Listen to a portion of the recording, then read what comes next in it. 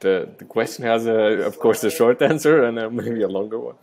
Price at the moment is not, not something we look forward to focus on because it's just not very healthy as well for the team to watch every time.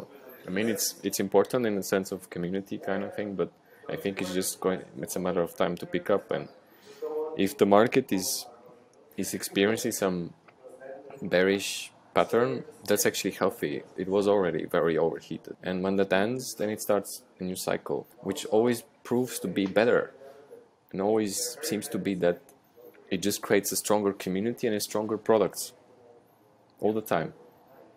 So I'm very confident in that in those cycles of the rhythm of the development of the and that means that there's also the, the cycles of prices are also going up and up. We develop as we can, of course, the speed we can.